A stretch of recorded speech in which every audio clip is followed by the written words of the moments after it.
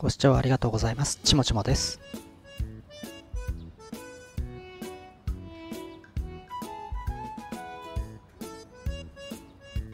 今日は東急絹田線跡からスタートしたいと思います。えー、東急絹田線というのは、えー、双子玉川園駅から、えー、絹田、え元村間の駅を2.2キロ走っていたそうです。今はもうなくなっています。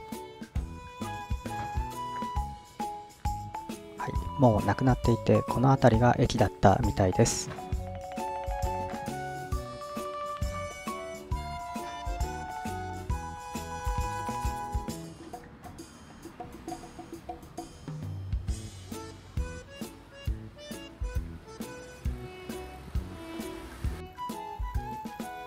この橋を昔、えー、絹田線が走ってたそうです。えー、絹田線のマークなんかが、えーまあ、橋の柵のところについてました。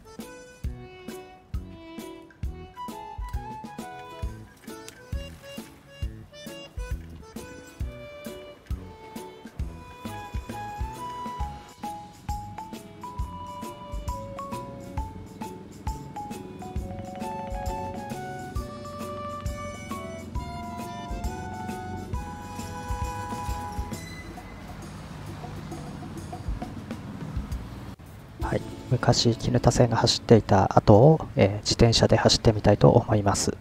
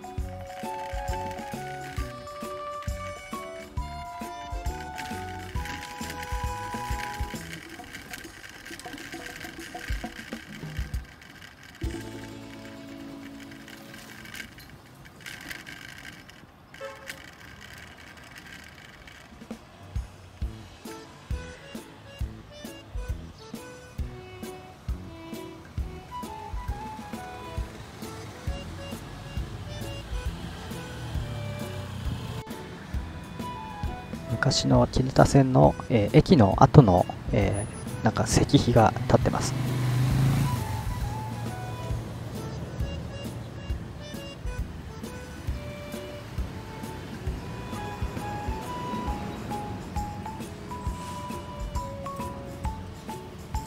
はい、もう、えー、双子玉川の、えー、高島屋の裏側に出てきました。これで絹田線の、え、全線を、え、自転車で、え、走ってみました。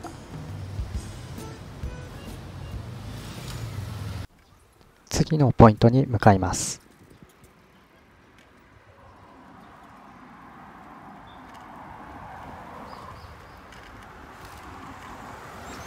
はい、ここが有名な田園調布です。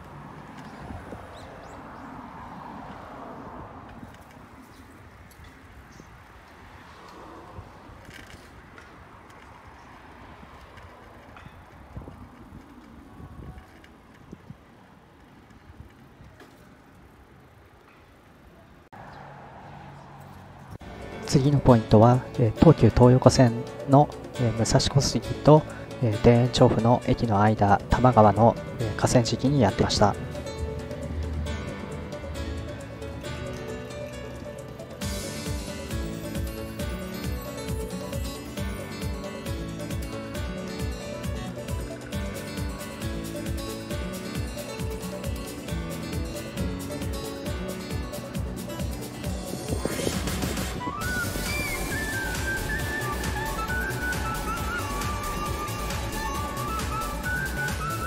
この路線は、え東急東横線、あと東急目黒線、えあと東京メトロ、え南北線、東京メトロの副都心線、あと都営三田線が、え直通運転をしている、えすごいたくさん、え電車が走っている場所です。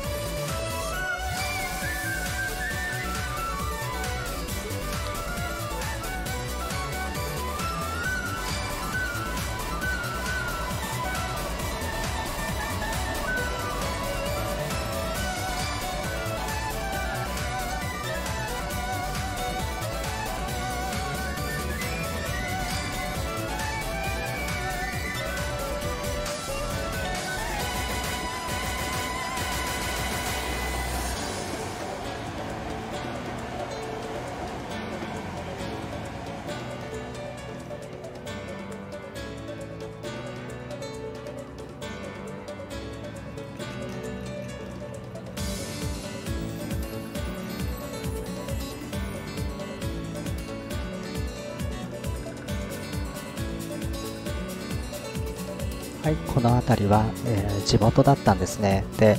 えーと、1993年の9月12日に撮影した、まあ、同じ場所の、えー、東急東横線の鉄橋の写真を、えー、合わせて見てみましょう。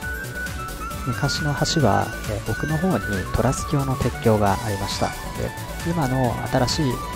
え、鉄橋の方は、えー、複複線になって、まあ、トラス橋じゃなくなってますね。新しい方の鉄橋は1999年にできたそうです。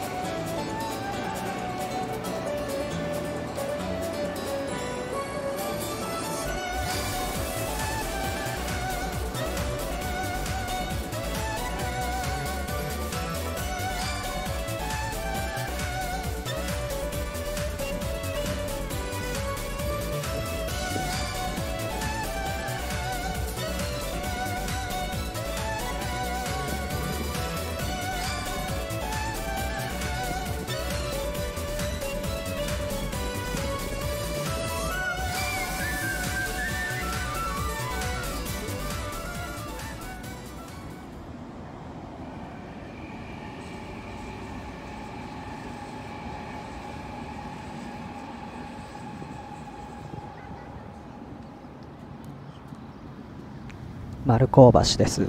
これが、え武蔵小杉から田園調布の間にかかっている、え道路と歩道の、え行き来ができる橋になってます。はいえー、少し下流の方に、えー、200メートルぐらい、えー、行ったところに、え東海道新幹線と横須賀線あと新宿湘南ラインが走っている鉄橋のところに到着します。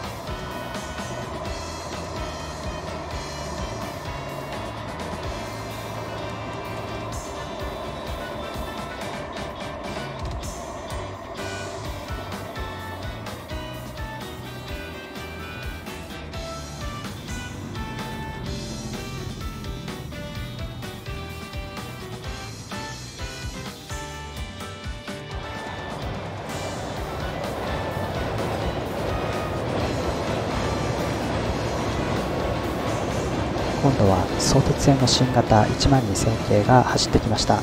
でその後に、えー、新幹線の N700A が、えー、来ましたけど相鉄線の方が振り切りましたね。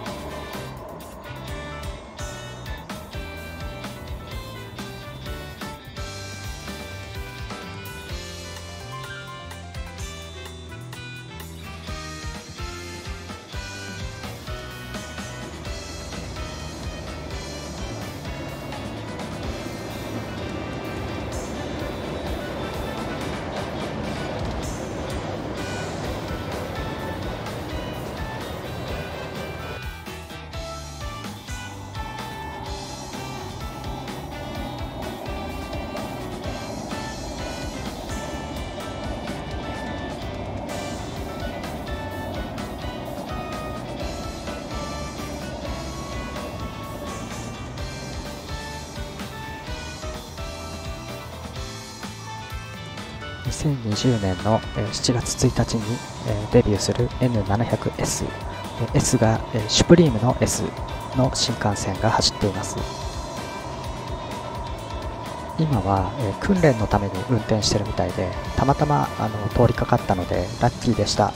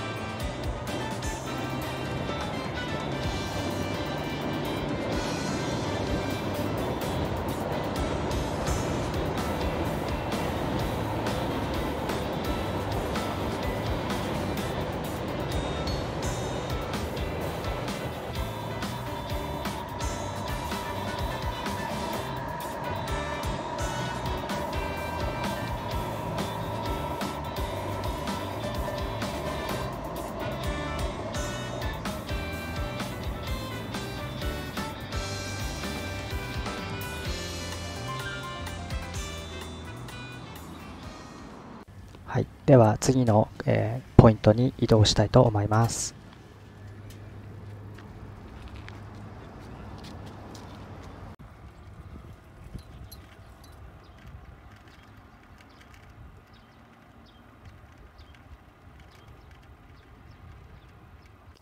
はい、次のポイントは、えー、京急電鉄の、えー、蒲田から川崎駅間の多摩川のところに、えー、やってきました。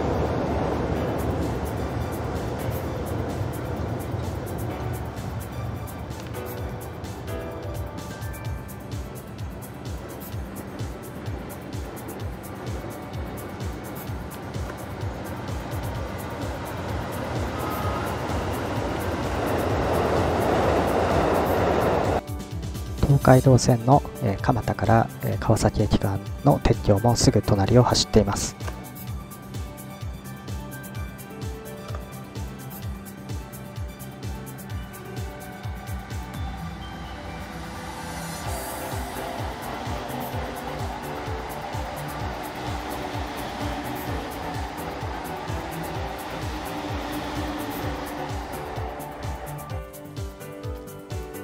京急は、えー、6両編成と短い編成ですけど、えー、本数をたくさん走らせてるみたいですね。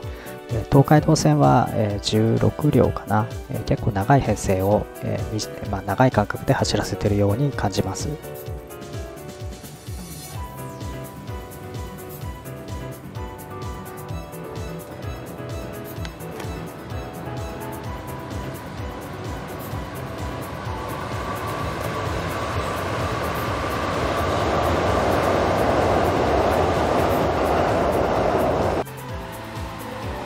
新しい色に塗装された踊り子号です。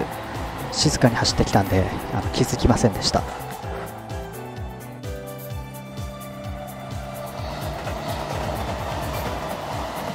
東海道線です、えー、緑とオレンジ色でどう見てもかぼちゃ色にしか見えないんです。かぼちゃ色に見えますよね。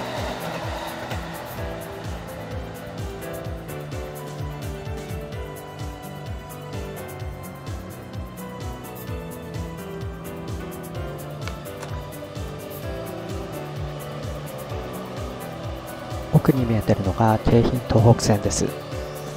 この長い京浜東北線をワンマン運転化しようとしてるみたいですね。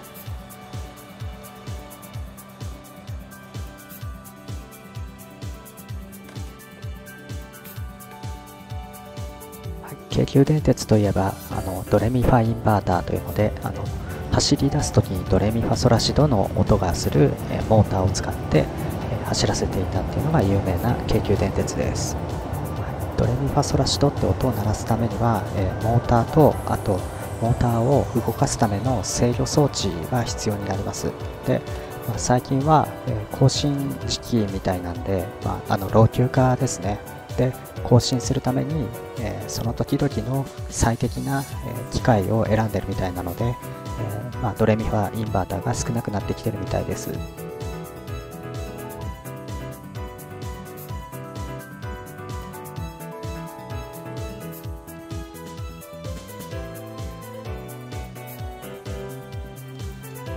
急電鉄はあの西武電鉄とあの提携をしていて、え京急電鉄で黄色い電車を走らせて、え西武電鉄は、まあ、普段黄色いんで、え赤色の電車を走らせるっていうことを、えやったりしています。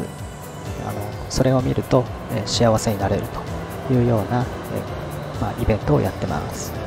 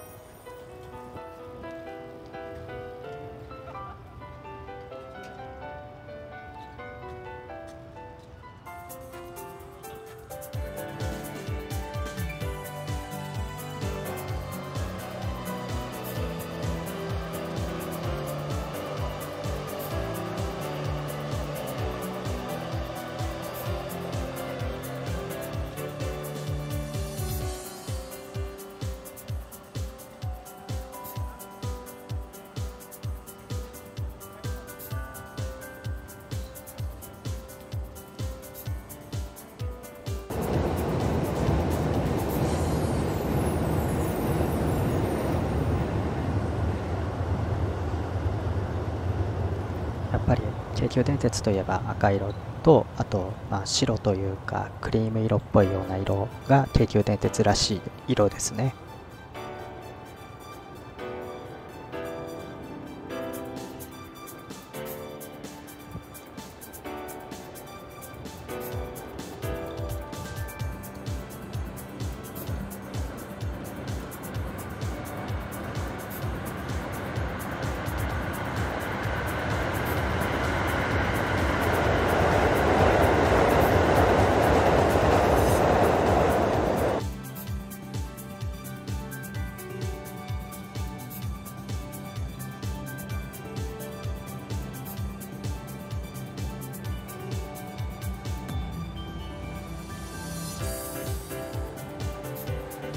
ちら電車が来ました。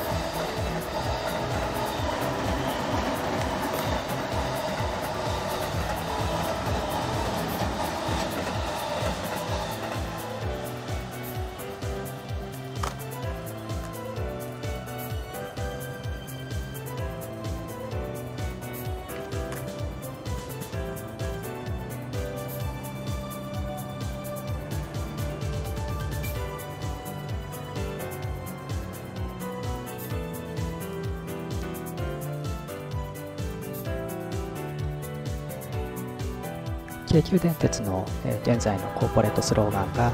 えーとえ安心を羽ばたく力になってますね。やっぱりあの羽田空港と成田空港を、ま、結んでいるだけあって、まあ、羽っていう字をあの使ってますね。えー、品川と横浜間を、まあ、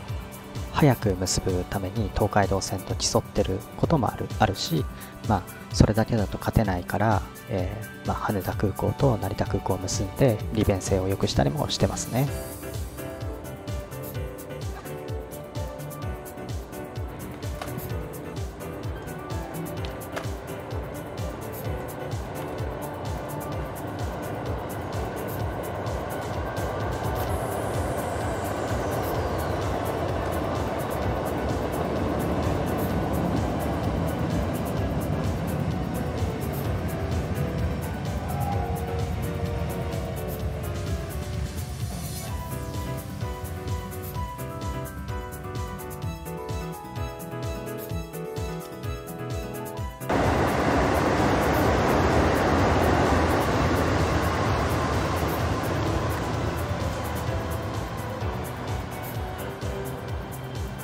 れは速いから120キロ出てると思います。は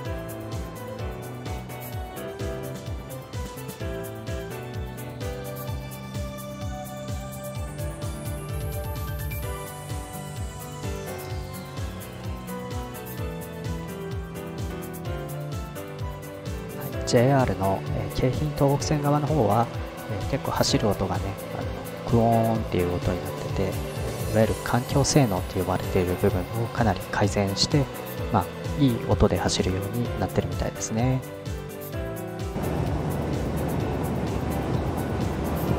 京急の方の橋はトラス橋になってて、まあ、あの結構ね安全を重視して作ってる橋のようにも見られます。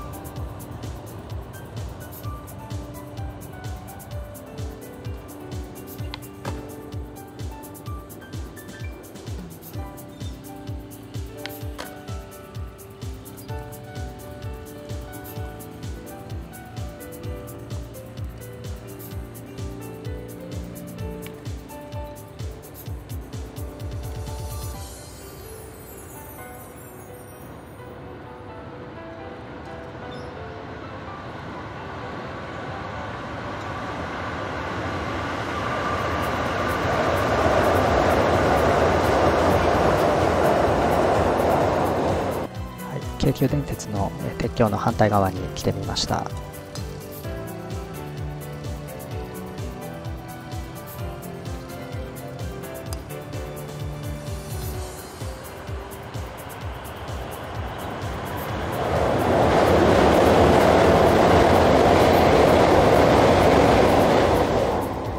京急の奥側の方はあのゴルフ場になってました。打ちっぱなしのゴルフ場でした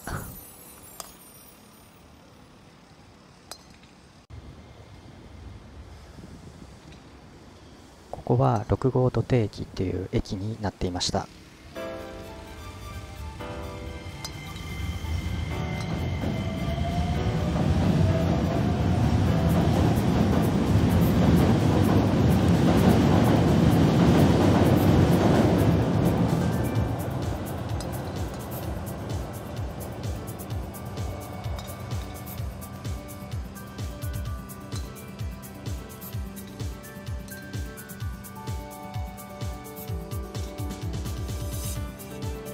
東北線がちゃんと取れてなかったので、えー、まあ、こちら側の場所に移ってきて京浜東北線を撮影しています。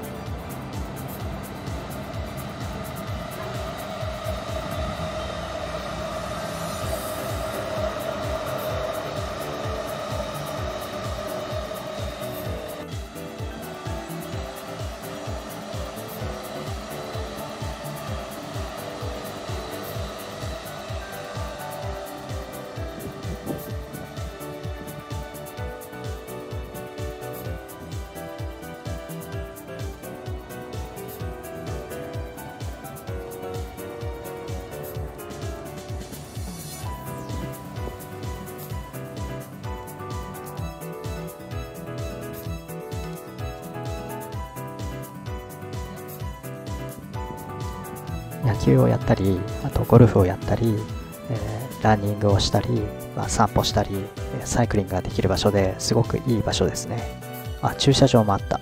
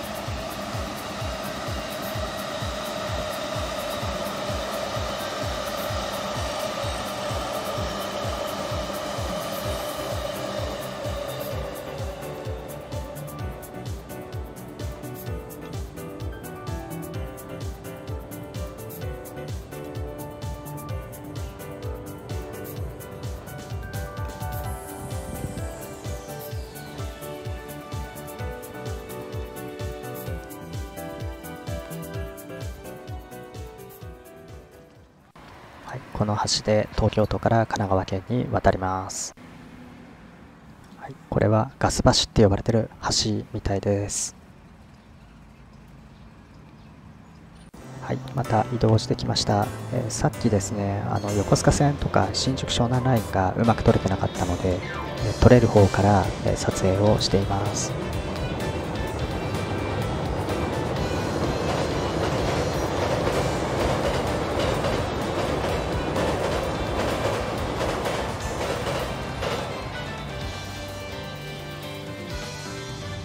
新幹線が来ました。新幹線が結構静かに走ってるんで、あの、驚きました。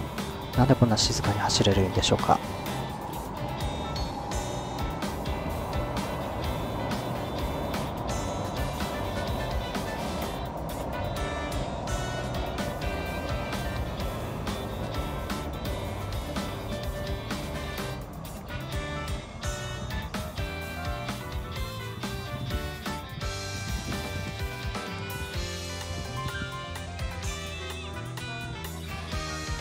ろそろ置き換えられてしまう横須賀線がやってきました。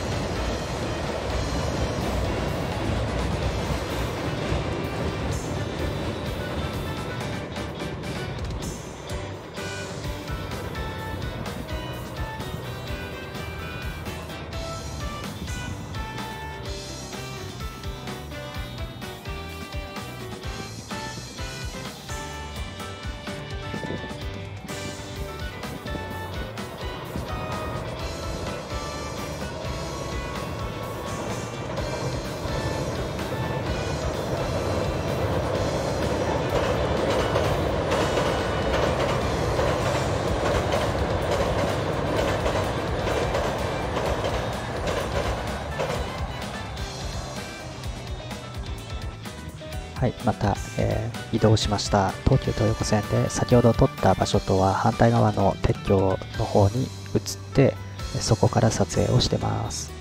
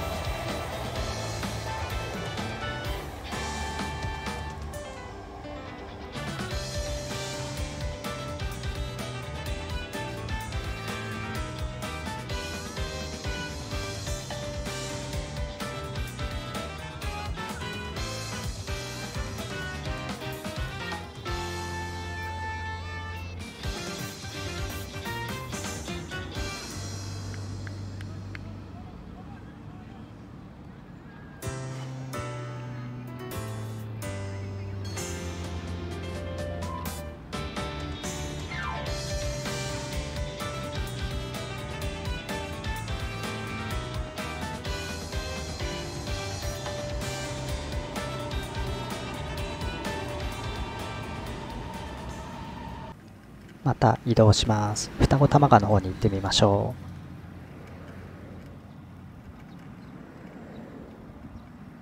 う、この間は反対側から撮影しましたけど、まあ、今回はあの県を越えていいってことだったんで神奈川県側から撮影してみました。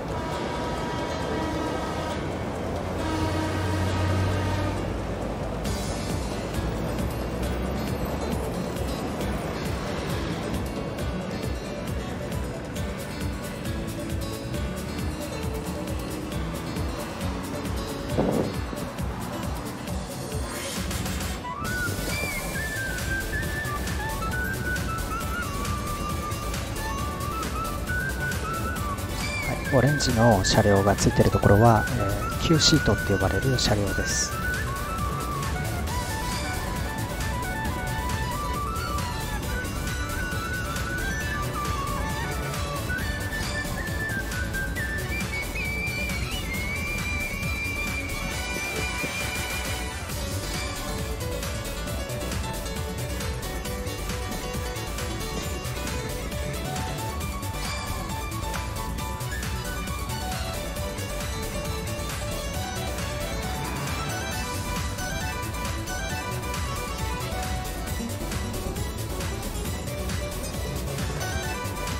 ステンレスの電車を見ると東急っていう感じがします。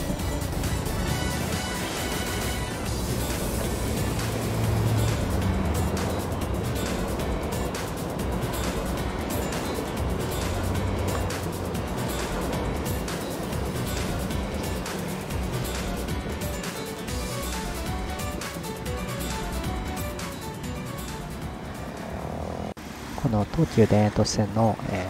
鉄橋のことを双子橋梁って言います。でこの横を、えー、車と、えー、歩道が通れる橋がかかってますんでこれで、え東京都側に行ってみたいと思います。今回は、え多摩川の下流側の電車の撮影をしてきました。いかがだったでしょうか？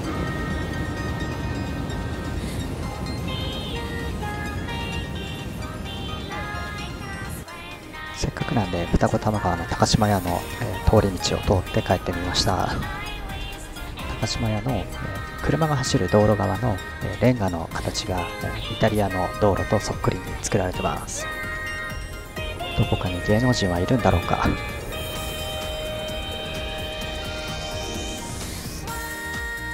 ご視聴ありがとうございました。